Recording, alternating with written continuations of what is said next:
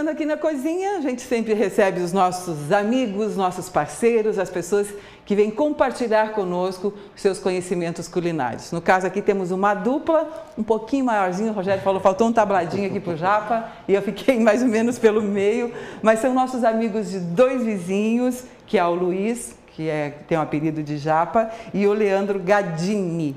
Isso Gadini, né, Leandro? Isso mesmo. Tá, dois chefes, o, o, Leandro formado aqui pela faculdade na FADEP, da FADEP e você já. Também, pela Os dois pela FADEP. No mesmo ano? Vocês são da mesma turma? Não, eu sou um pouco à frente dele. Você começou antes? Comecei antes. Entendi.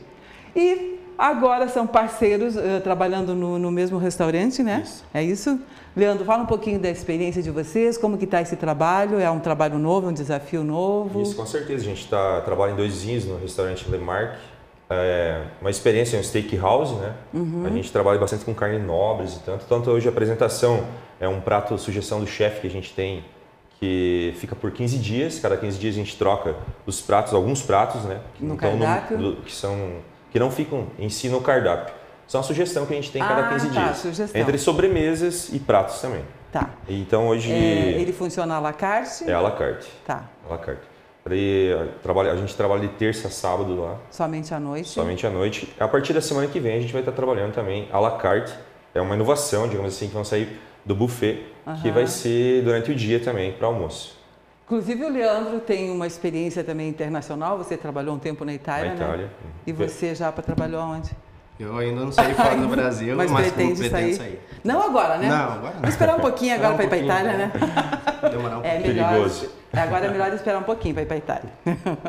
Bom, vamos falar do que vocês prepararam. A gente já falou na abertura que é um sambo. É um sambo. sambo. É uma homenagem a uma cidade que eu morei até na Itália, que é San Bonifacio, ah, que é ah, de Verona. San Bonifacio. Daí a gente coloquei essa homenagem ah, a esse que prato. bacana. Você criou, você fez o Foi, deu criação. nome. Uhum. Criação nossa lá mesmo. Tá. Vamos mostrar os ingredientes? Eles já Sim. mostraram. A gente aqui é um é um bife de chorizo. São tudo carnes nobres que a gente trabalha lá. É, chorizo. Chorizo.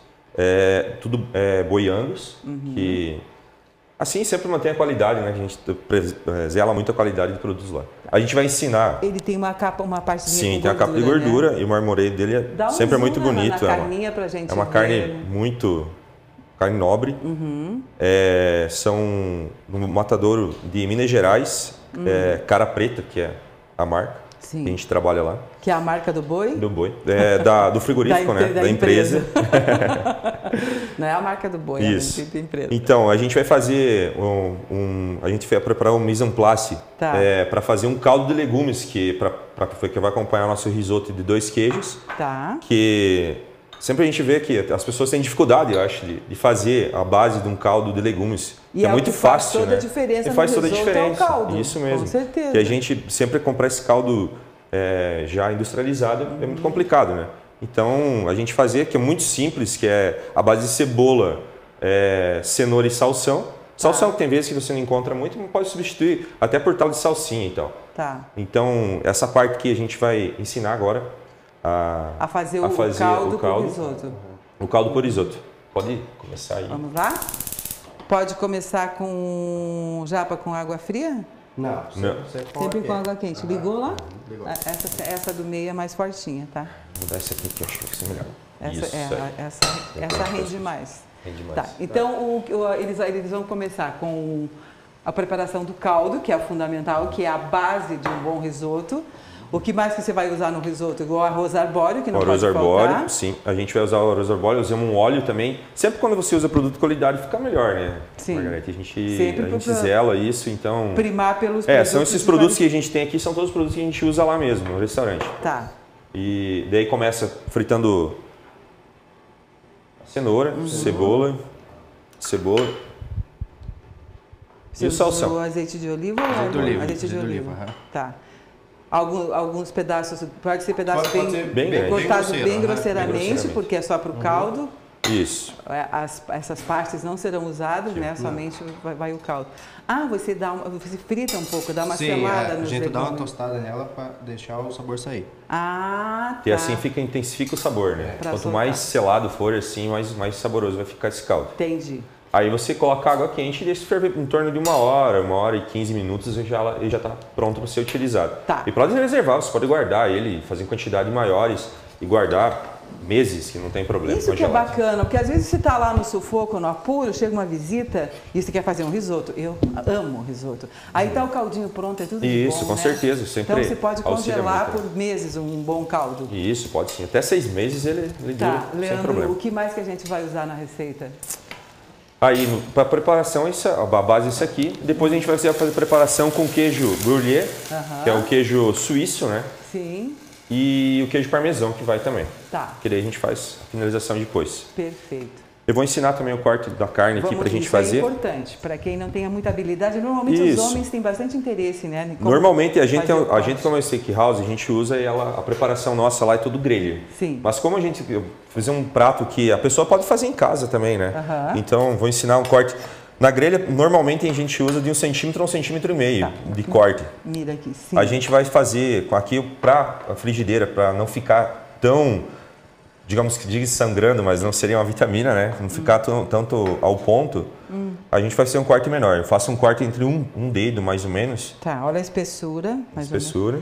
Então ele vai selado. é? Vai ser selado. Depois a gente prepara um com o que fica do fundo da panela. A gente prepara um molho de com cogumelo é, champignon e é vai aqui? que vai ser vai ser colocado isso aí Cortado. cortado em tiras, né? A gente usa o champignon cortado em tiras e depois vai ser acrescentada a nata Tá. para fazer finalização e ele volta a carne volta para para panela. E assim vai ficar, ficar uma suculência e que acompanha essa carne aí. A gente ouve muito essa palavra chouriço na Argentina, né? Isso, é um corte. Na Argentina O corte deles. É o, é o corte que acho que é um dos, dos preferidos, assim, Isso. né? Dos mais divulgados, pelo menos. Turista chega lá, se não comer um chouriço, não foi pra Argentina. Não, não foi pra Argentina mesmo. Buenos Aires. Aqui no Brasil também tá Tá, entrando tá. muito essa, essa pegada, assim, digamos, de, De, corte. de grelha, de Ah. cortes nobres desse jeito. Como vai ser feito Mas a na fri- picanha continua na moda, Continua, é né? tendência. Sempre, né? A gente, a gente trabalha até com picanha uruguaia, uruguaia lá Ai, no, no, no restaurante. Tem picanha uruguaia lá. Tem, No Lemarque. Onde fica o Lemarque? Em Dois Vizinhos fica na rua 7. É na frente, bem, bem no centro, bem centralizado Na mesmo. É, na avenida mesmo. lá. Ah, Dois Vizinhos é uma cidade super simpática, É, um povo bem bacana lá. Eu também não sou de lá mesmo, né? Tu é de onde? Eu sou de Itapejara. Aham. E estou sendo bem, bem adaptado lá, bem, bem bacana com as pessoas lá. E tem muito descendente italiano lá, né? Isso. Como é o seu caso. É, a, gente, Japa, você é de onde? Eu sou de Itapejara também. Também de Itapejara? Eita, dupla. a gente coloca o sal fino e deixa ela Ah. repousando um pouco, porque senão ela acaba não pegando sabor, como vai ser feito na, na frigideira, só para selar ela. Né? Entendi. Eu tempero básico, sal fino, sem tempero nenhum, Uhum. e ela acompanha uma pimenta do reino moída na hora, Entendi. que a gente faz. Ou somente isso, o tempero. E, é- e Somente o isso. bacana é temperar antes para a carne não desidratar, né? Na verdade, Como que é? ela, Como que ela, se você coloca o sal, ela acaba desidratando. Tá, né? então. Quanto menos sal você colocar na hora, o sal seria melhor. Sim. Mas como o preparo dela é na frigideira, para dar mais sabor, tudo, eu prefiro mesmo colocar o sal um pouco antes. Um pouquinho antes. É, isso que eu, por isso que eu pergunto, que cada Uhum. Isso. tem a- Que a- as carnes, como são carnes nobres, quanto menos sal você usar é, na preparação dela, ela fica mais saborosa. né? Entendi. Um abraço para a Sheila, que está aqui dando assessoria. É, né? Tá de mas para. Sheila que está aqui, A Sheila faz parte lá do- acompanhar, do, do, sim. do restaurante. ela faz parte de atendimento do lá. atendimento. Então, tá. A equipe tem, tem quantos integrantes? No... A gente somos mais um chefe também que Tem mais um é, sim, eles são, ele até se formou comigo. Hã? Ele é aqui de Pato Branco, o Diogo Diogo Zandonai, que é, ele tava, tava viajando em viagem agora, tá voltando da Tailândia, Uhum. é, e, e ele também acompanha nós. Então são, a gente são três chefes lá. Chique, hein? Restaurante com É, três são, a gente conseguiu montar uma boa equipe lá. Alto Eu sou o chefe executivo, né? Daí a gente agora vamos começar a trabalhar também até com menu de degustação. A gente vai apresentar umas propostas bem, bem inovadoras, assim. Que agora a gente acertou a equipe, começar Bacana. a trabalhar com algumas texturas, algumas coisas, tendências mais modernas, digamos assim. Legal, Uhum. legal. Tá, vamos começar agora a que parte? Parte do risoto. Risoto. Então o caldo já está fervendo. O caldo já, tá fervendo. Já está exalando um aroma sensacional. Isso, ele ferve entre, como eu falei, entre uma hora, 45 minutos, uma hora e já está já Já tá você pronto para ser usado. sal nesse caldinho? Não. Não precisa. no risoto. Porque o, o sal vai depois na, na parte do vai arroz, depois. né? Aqui a gente só deixa só essa base aromática. Tá. Apura o sabor 45, uma hora. Você vai fazer a base do arroz risoto agora? Boa. Sempre a panela bem quente, né? Isso eu aprendi. Você usa um pouquinho de óleo e depois bota a manteiga para não queimar a manteiga, Isso, né? Pra não queimar a manteiga. Agora eu vou fugir um pouquinho. fugir um pouquinho. Quais são os pratos assim preferidos? Ah, existe uma clientela que, ah, eu quero esse, que, que tem, são, existe sim. Tem os pratos top do, do tem, restaurante? Tem, tem, O, fo o foco lá bastante, assim, o cargo-chefe nosso, bastante é risotos com carnes nobres. Acompanha tá. bastante carnes nobres lá. E... Mas tem acompanhamento de uma salada? Sim, tem acompanhamento, tem saladas, tem peixe, tem um... até a gente, hoje a opção, a gente, a gente até pensou em trazer um, um salmão que a gente faz lá, que é com risoto de limão siciliano, e ele acompanha o salmão amêndoas. Ai, que delícia. É, laminadas tostadas. São, é muito bom, é muito pedido lá esse, esse prato. Na próxima vocês fazem esse, Isso, então. pode ser Ali sim. vai, foi o que? A cebola? Só cebola. Cebola cortada super pequenininha, bem picadinha, ó. Vou mostrar aqui pro, pro nosso cinegrafista, olha. Super, olha como ela fica já bem douradinha. Porque às vezes a pessoa tem dúvida, ah, será que frita mais a cebola, só deixa dar uma suadinha? Não, ela precisa ser mais fritinha. É, e a gente também trabalha lá muito, é, como é uma steakhouse, a gente trabalha também com, com tábuas de carnes Ah, também nobres, que acompanha tábuas. chorizo, acompanha essa picanha uruguaia. Vários então, tipos de isso, carne. Isso, isso. A gente, a gente sempre tem, tem bastante opções de carne lá. Legal. Aí a gente vai acrescentar o arroz. Deixa eu colocar aqui para você. A gente vai acrescentar o arroz E agora. qual é a proporção, já? Pra, pra, pra- pra- como que é a medida que a gente em casa faz? É umas, é umas 100 gramas de, Mas- de cebola frita para 400 de arroz ar- arbóreo. Que Agora. serve quantas pessoas? Esse foi? Serve quatro pessoas. Quatro Comendo pessoas e o bem, prato né? comendo bem, Comendo comendo bem, né? Bem, tá bom. Um prato aí com 180 gramas. aí. O arroz precisa selar bem? Qual é o- a sequência ou não? Ah, aqui eu só dou só uma, uma tostadinha nele, não muito. Sim. E o segredo é um bom vinho também, né? Bom vinho, isso. Vinho branco seco. Vinho branco seco. Como dizem os experts, o vinho que você usa na comida é o vinho que você Que pode você tem que tomar. tomar. Que tomar. Isso mesmo. Para acompanhar o prato de preferência, né? Isso. E o que, que tem de sobremesa lá? Os docinhos. A gente tem a pavlova, Ah, a pavlova que é um clássico italiano, né? Tem o Aham. creme brulee, um clássico francês. ah, que é maravilhoso. E a gente entrou com um brownie essa semana, Aham. a gente fazendo. É, que tem sempre a variação. Aí Tá entramos entrando o vinho com. já, só um pouquinho. Vinho. É o vinho quanto de vinho? Vai Aqui- no olhômetro assim, você sabe, já sabe? Aqui não precisa cobrir tanto. Ah, Ele passou um pouquinho o arroz agora aqui. vai até evaporar um Até pouquinho. evapora o Ah, em torno de uma taça. Uma Um taça, uma- é, uns isso. 150 Ah, ml mais ou menos já é o suficiente. Sim. A gente Aí deixa ele evaporar, reduz, deixa reduz. reduzir, para depois colocar o caldo, é Depois isso? Isso, isso. Essa é a sequência. Isso aí. Eu vi que tu não colocou ó, o sal ali, né? Não, depois. É só na finalização. O risoto é sempre o sal na finalização. Sempre então. o sal, porque como ele vai evaporar, Hum. aí a gente vai colocando sal, ele vai ficando salgadinho no final, e quando chega no final você vai temperar, fica Qual muito que é a tua salgado. parte na cozinha? Que eu sei que os A minha parte mesmo. é esse aqui. Ah, essa é a sua parte. essa parte mesmo. Entendi, por isso Ele que você veio fazer o risoto. Ah, tá. Um fica com os- as, as carnes, Isso. outro risoto. E o outro chefe? Ele fica na parte da, da- da preparação de empanados, Hum. frituras, ajuda na parte de finalizações também. Perfeito. Tá. Como complementando, o que, que estava falando antes? Ah, dos doces, Dos a doces. gente também tem um tortelete de limão, que é Ah, um que clássico também francês, que a gente Aham. trouxe essa, essa- nesse- nessa quinzena aqui para a gente apresentar. Mas sempre eu dou uma modificada neles. Eu tento trabalhar com um clássico, mas dando um toque do meu, assim, particular. Sim. Que daí sempre o pessoal tá, tá tendo um Ah, bom agrado. essa é a função, né? Sim, que com é certeza. como artista, é a sensibilidade, vai da Isso. criação e do momento, né? De como você tá, para colocar essa energia também no alimento. Bem legal. Ó, o caldo, como você pode ver, Nossa, ele, ele, Ele o já- cozimento é rápido, né? Isso, já está começando a mudar de cor a água, já dando os aromas para passando para a água. Uhum. E daí depois dessa parte você tem que, lógico, tem que coar ele, né? Para Tá. você armazenar. Né? Sim, Isso é bem, bem importante fazer também. entendi. É assim, porque a gente vai deixar essa parte, inclusive, para finalização, né? Porque o risoto, ele, ele, o cozimento é rápido, né? Isso, isso. Entre 15 e 20 minutos. É, então a gente, essa é a parte de início, você pode deixar nessa parte de, de, de, de selar tem- e, e de- de- descansa. Isso, tem uma forma assim que se você quer até utilizar em outros dias, você pode selar, fazer essa primeira etapa, Uhum. resfriar ela numa, digamos, uma pedra de mármore Tá. e você pode conservar ele na geladeira. Entre Ah, três entendi. dias, três dias ele dura ainda. Tá. Se você, tipo, em casa vai receber uma visita e ter bastante, uns 10, 12 pessoas para você servir, Ah. é um segredo eu acho bacana de fazer. Você consegue fazer isso e você finaliza entre 6 e 7 minutos, você está finalizando o risoto. Bacana. Diminui esse tempo de Esse- cocção, né? Esse pré-cozimento já está cantado. Porque se você deixar ele na panela, ele acaba cozinhando mais ainda Claro. e acaba, acaba passando desse tempo, né? ganha tempo. E é uma, uma opção, porque você colocar uma grande quantidade de risoto, ele não fica bom Hum. numa panela. Você tem que colocar uma quantidade menor para conseguir emulsificar depois com os queijos, né? Ah, queijos e tal. Sim, porque o arroz arbóreo ele acaba não cozinhando tão bem quando a quantidade é grande de risoto. Interessante. Essa é a dica legal. Então, Uhum. em grande quantidade. Isso, sempre você pode fazer um pré-preparo desse, Fracionado. fracionado.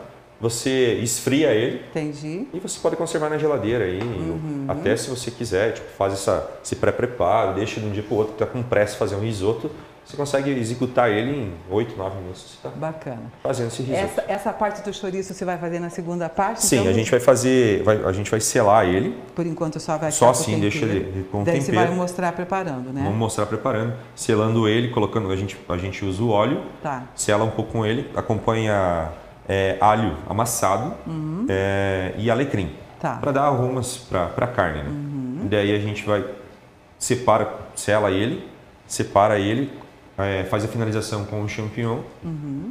e a partir desse momento volta a carne ali, faz essa preparação para ela dar o sabor mesmo à carne e Tá. a gente faz a finalização do prato.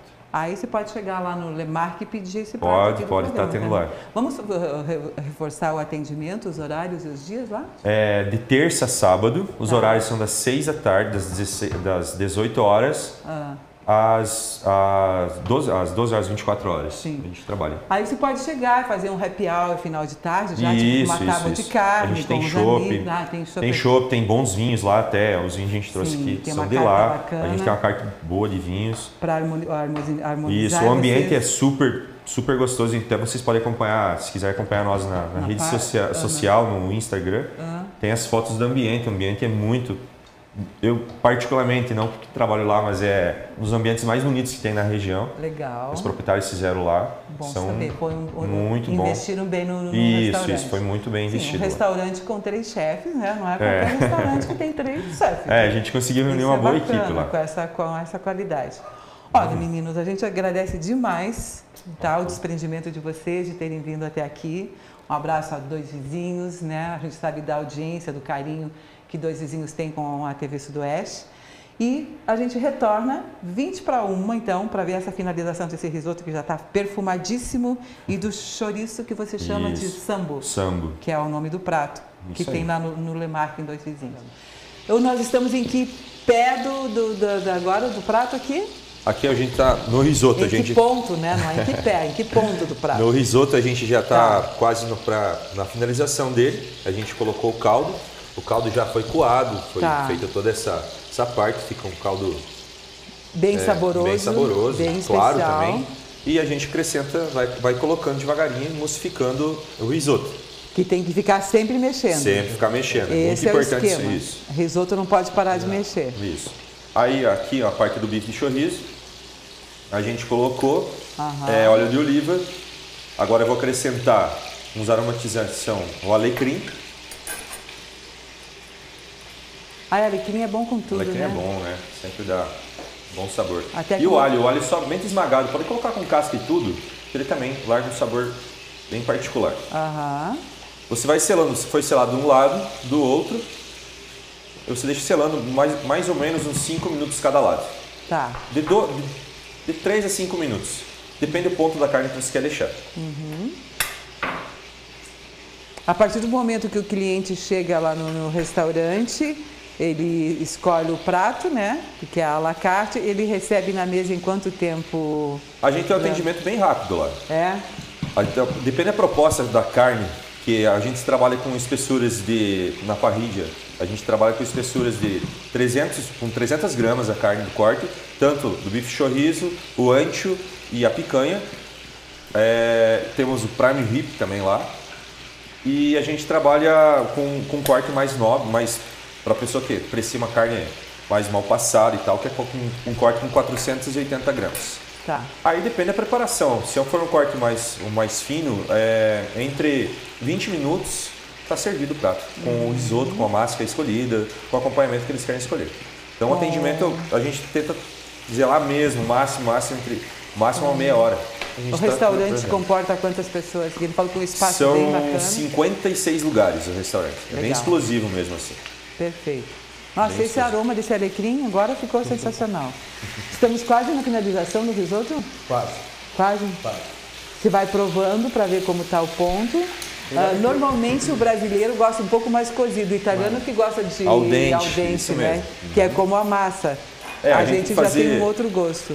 Quando eu tinha o hábito da Itália, ah. é, muitas vezes eu, eu cheguei com esse hábito no Brasil e fazia muito risoto al dente, a massa al dente muito, e tive que me adaptar à cultura nossa. Né? Sim, né? que é o gosto brasileiro. Que é, é, a gente tem que se adaptar ao local que a gente vive mesmo. E aí sim, for ter que cozinhar um pouco mais o arroz, a massa também, Depende dos temperos, sim. você tem que cuidar, então... Isso também Mas foi é, legal, é, é, sempre uma experiência nova, é. né? Não, e é regional também, né? Aqui isso, nós temos o, alguma coisa bem do, do, sul também, o lance isso. das massas, a carne um pouco mais mal passada.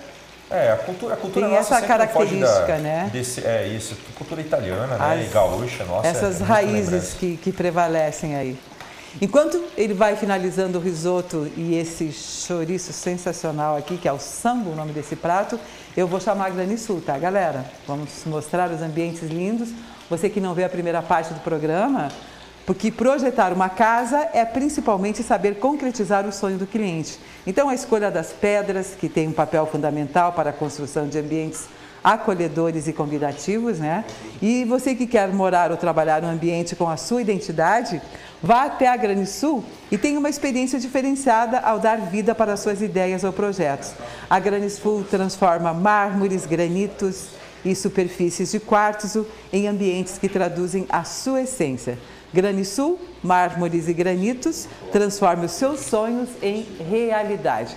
Esses ambientes são lindos, né? Você pode levar lá o seu projeto, discutir uma ideia com o Rafa, com a Adri, com toda a equipe, pedir para conhecer o showroom, que é uma, tem uma variedade enorme de pedras. Olha essa parte externa também, que é sensacional.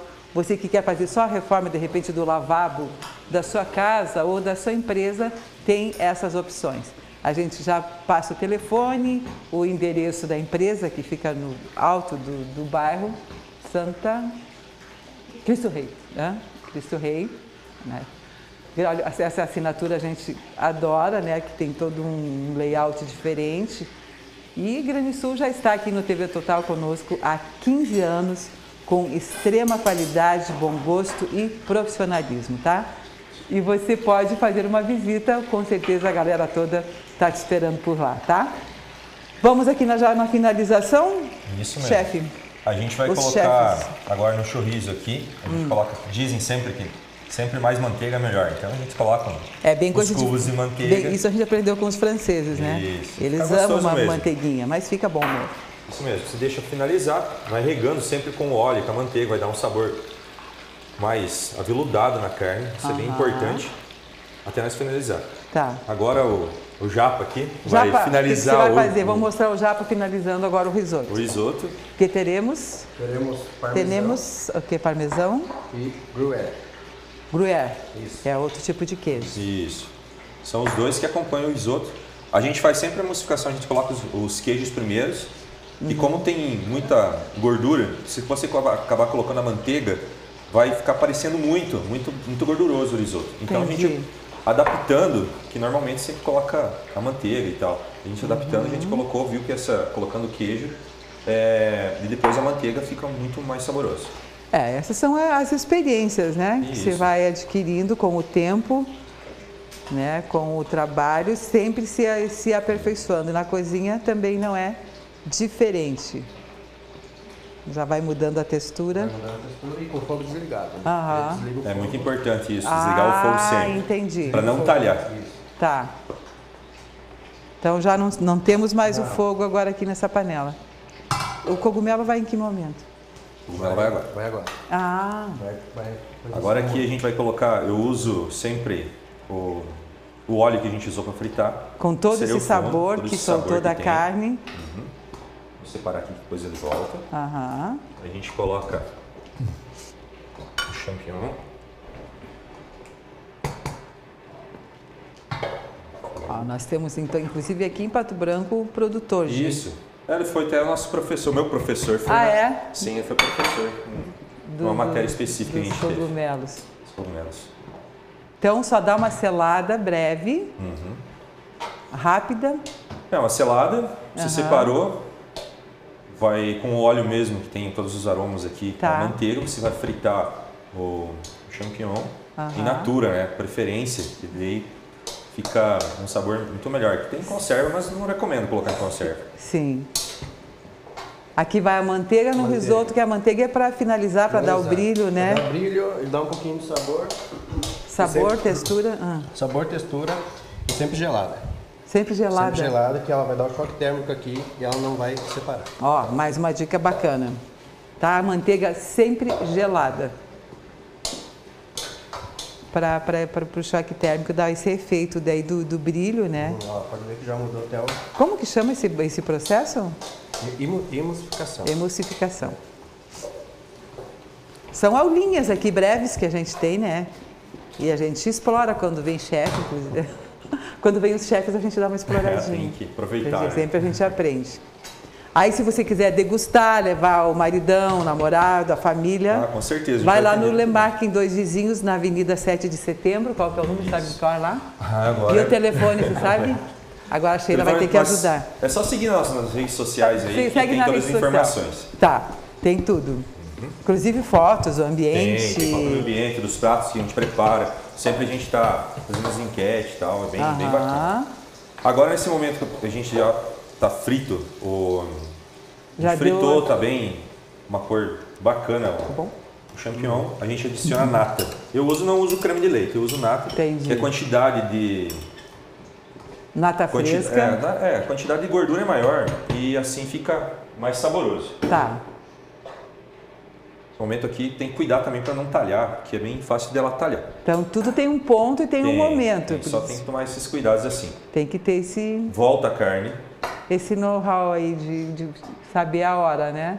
Ah, rapaz. Como vai ficar ruim um negócio desse? Hein, como que vai ficar?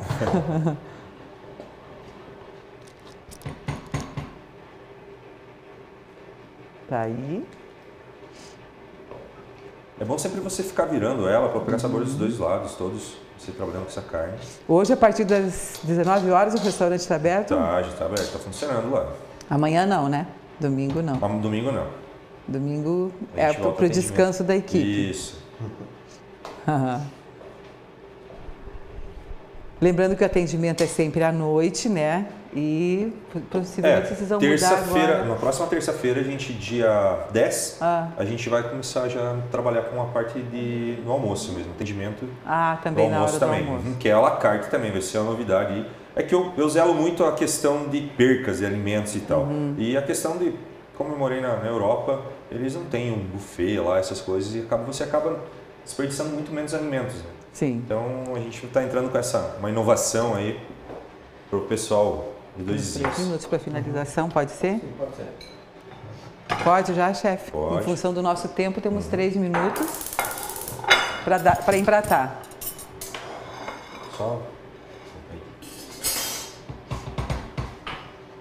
Olha, mais um- uma opção bacana gastronômica. Essa é de dois vizinhos, essa dupla de chefes, o Luiz e o Leandro. Vou colocar aqui, né? Ah, vou colocar assim, não vou vai ter que ficar segurando. Da à la carte já vem empratado, né? Já, tudo empratado, Tudo prontinho. Decorado. Uhum. que a gente zela muito é isso lá. É. é esse capricho, né? Hum. Essa é normal, normalmente é a, é a assinatura do chefe. Isso, com certeza.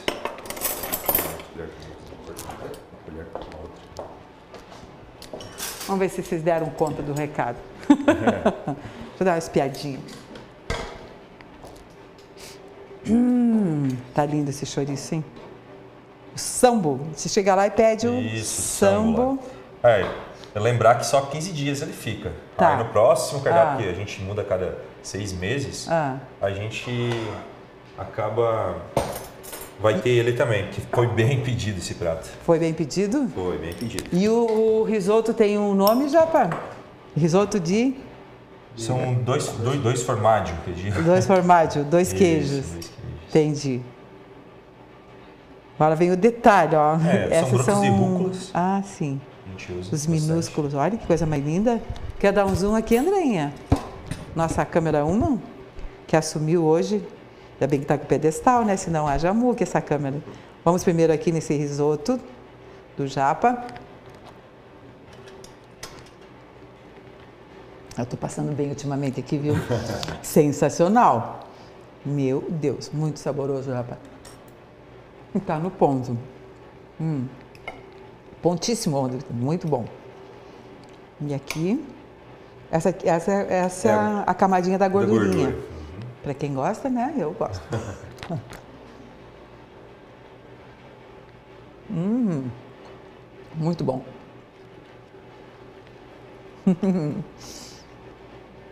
Podem pedir, tá? Aprovadíssimo. Eu não consigo comer um pedaço só. Deixa eu repetir aqui. Parabéns, meninos. Fica maravilhoso. Muito obrigado. Hum. Que vocês continuem com esse talento, né? Quem usufrui disso é o cliente. Ah, com certeza. Que vai né? no restaurante, onde a gente sabe que o, o- a comida é preparada com carinho, com responsabilidade, com profissionalismo. Isso. É, a gente ama o que faz. É então isso que dá o muito know-how para o restaurante, né? A credibilidade, né? Isso. Tá bom? Muito, muito obrigada. Não sei se vocês querem mandar beijos para a galera dos dois vizinhos, abraços. Vamos mandar. Agora é o momento. Ah, Fiquem à vontade. Mandar um especial aí pra minha mãe, Itapejara aí, que Tá assistindo o assistindo programa. nós aí, a Marlene. Ah, Nossos meus pais, também. também, também moram lá, continuam morando em Itapejara? E espero a visita da- do Convida público o de dois para vizinhos, né? pra conhecer o nosso local, quem não conheceu ainda lá.